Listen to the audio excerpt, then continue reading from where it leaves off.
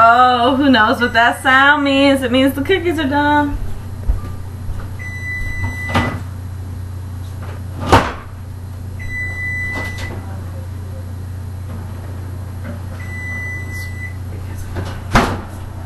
Oh, the chocolate chips didn't melt. That kind of sucks. Anyway, look at that. Pretty cookies. And you thought they wouldn't spread because it didn't have flour.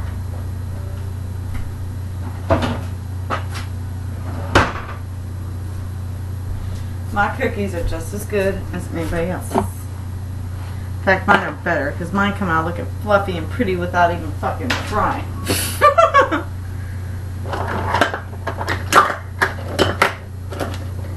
so anyways, obviously you let them cool down. And all that jazz. Usually I put them in the freezer for a little bit.